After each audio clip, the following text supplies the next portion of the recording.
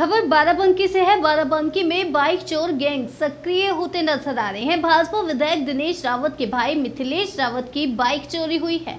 आपको बता दें कि थाना कोठी क्षेत्र के मदारपुर चौराहे के समीप बने मकान के पास में अपाचे बाइक खड़ी थी, जिसका number UP four one A W seven six nine three है जो आज रात्रि करीब दो से चार बजे के बीच चोरों ने उड़ा ली।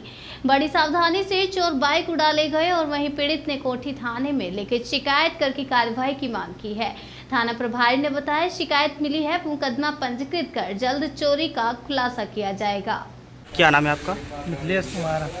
कहाँ के रहने वाले हैं आप? गुलामाबाद मीरापुर। हमारे बड़े भाई दिनेश हम्म। विधायक विधायक भी हैं। अच्छा विधायक हैं आपके भाई? हाँ, क्या घटना हुई आप यहाँ थाने आए एप्लीकेशन देने?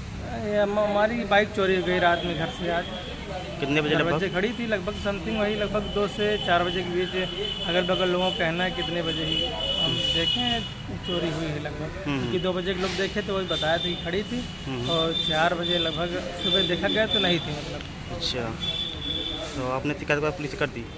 कंप्लेन करने आए हैं पुलिस में हम्म। एप्लीकेशन दे दें और उसके बाद सोच रहे हैं कि आई जी आर एस पर कंप्लेन कर दें। फिर जो है कौन सी बाइक थी? अपाचे थी हमारी एक सौ साठ सी सी दो हज़ार बीस मॉडल था फरवरी।